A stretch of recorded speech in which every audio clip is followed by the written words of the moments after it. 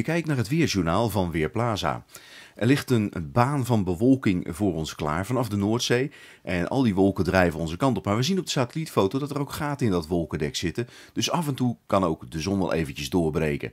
Valt een enkele bui in de ochtend, met name in de noordelijke helft van het land. In de middag verspreid over het land een enkele bui. Verspreid dus ook een paar opklaringen. Dus soms even wat vriendelijker weer. Maar wolkenvelden in het algemeen toch wel de overhand. Temperatuur 11, maximaal 12 graden. Een stevige noord- tot noordwestenwind daarbij. Ook vanavond nog. Dan zien we met name in de kustgebieden nog wel een bui, maar landinwaarts wordt het steeds vaker droog. Temperatuur in de avond een graad of 9, maar in de nacht lokaal aan 5 graden. Dan morgen weer vergelijkbare dag 11 of 12 graden. Klein beetje zon, vaker die wolkenvelden en soms een enkele bui. Met in het westen van het land wat minder buien dan verder het binnenland in.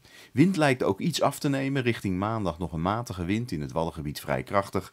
En maandag 12 of 13 graden op de thermometers. Het kwik gaat in de loop van volgende week heel voorzichtig omhoog. Woensdag zitten we aan 15 graden of iets meer. Maar het blijft ook deze dagen licht wisselvallig. Ik ben Marco Verhoef van Weerplaza.nl